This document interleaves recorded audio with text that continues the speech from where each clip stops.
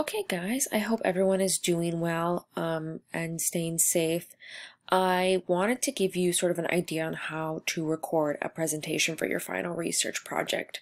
I know since we're not presenting in class, it's a little different and weirder, and you may not be familiar with sort of how to go about um, recording a presentation for your final project, so I wanted to sort of go over that here um, in this presentation.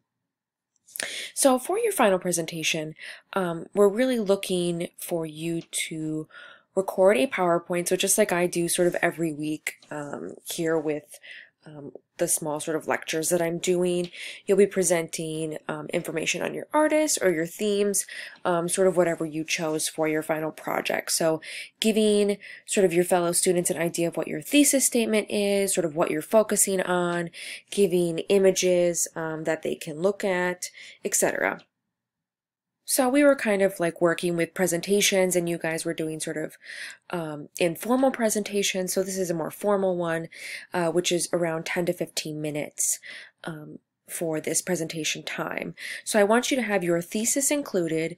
Um, it would be great sort of on the strength of your content and your research and analysis, using appropriate images and having them captioned, as well as sort of the overall quality of your presentation, how prepared you are, um, if you met the time limit, if it's organized, if you were um, clear and enunciated, enthusiastic, dynamic, um, etc. I would also like you to mention sort of the connection with your own work and include images of your own work as well, just to give your fellow students sort of an idea of what um, they you are comparing your work to, um, as well as for me as well, right?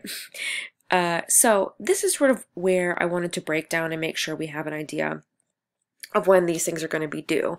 So on the Canvas page, as well as here, I've given sort of an overview of what I am thinking for the due date. So the presentation being due Friday, May 1st at midnight, and the paper being due Friday, May 7th at midnight. Or sorry, this, this is Thursday.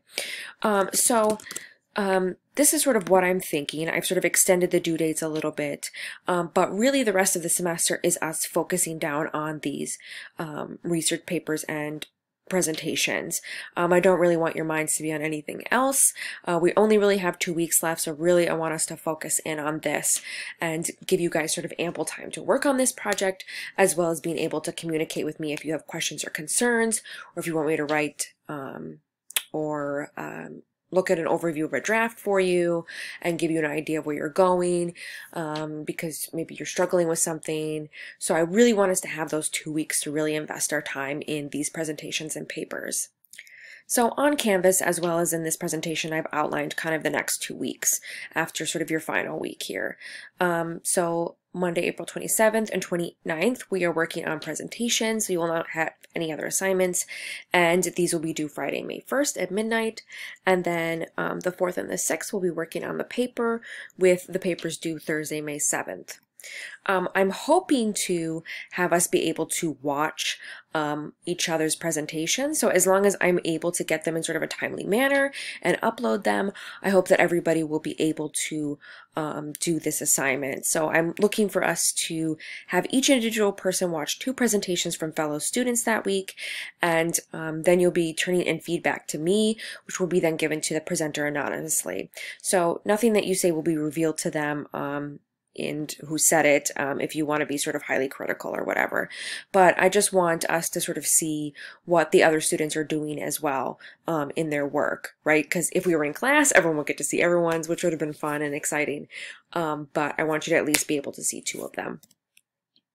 So how to record a presentation.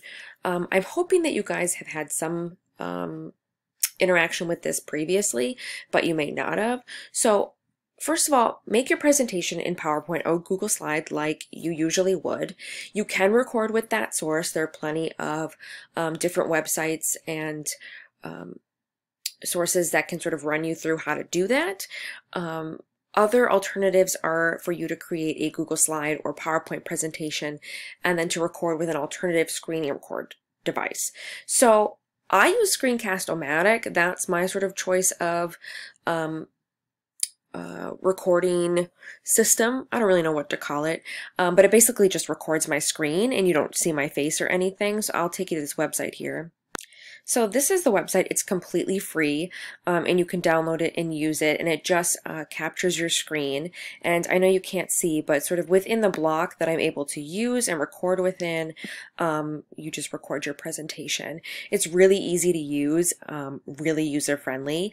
Uh, I pay for it.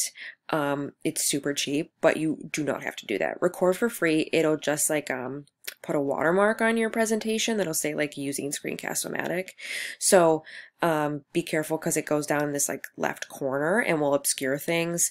Um, but otherwise, it's really not that big of a deal because I just want you to turn in your presentation to me anyway, the physical um, PowerPoint file. And so it won't be that big of a deal. So this is super easy to use and straightforward. Um, otherwise, as I said in your presentation here, I'm going to change this. You can use QuickTime recording, which is on a Mac if you have a Mac, um, and that's a YouTube video on how to do that. You can also just record with your phone or your camera or ask someone else to record for you. It doesn't really matter to me how you record it as long as I can see you, as long as I can hear you um, and see your PowerPoint and I'm getting the ideas across. So let me know if you have questions about this. Um, Screencast-O-Matic is really my recommendation, but um, using Google Slides or PowerPoint is really easy too, so that's really up to you and how you want to do that. So email me with any questions or concerns as you move forward. I will keep emailing you and keeping you up to date with what's going on and hopefully um, you're not feeling too overwhelmed. I will be looking through your proposals very, very soon um, and finishing that up so that you will have my feedback on them so you feel like you can sort of move forward. Um, email me with questions otherwise and I will talk to you guys soon.